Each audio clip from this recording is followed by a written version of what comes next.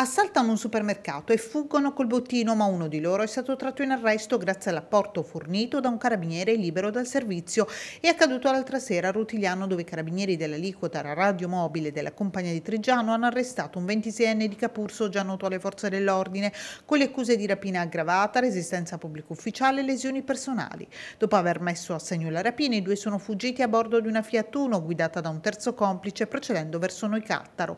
La condotta di guida particolarmente spericolata veicolata dei tre, insospettito un carabiniere libero del servizio che è la guida del proprio veicolo. Ha inseguito i fuggitivi fornendo i dati identificativi del veicolo e la direzione di fuga alla centrale operativa di Trigiano.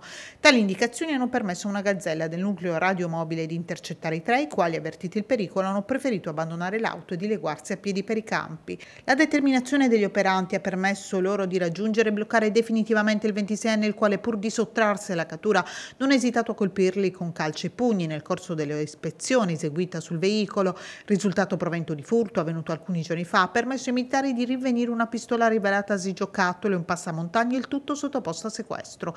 Dopo l'arresto, il 26enne su disposizione della Procura della Repubblica di Bari è stato rinchiuso nel carcere del capoluogo. Sono invece in corso accertamenti volti a risalire all'identità dei complici.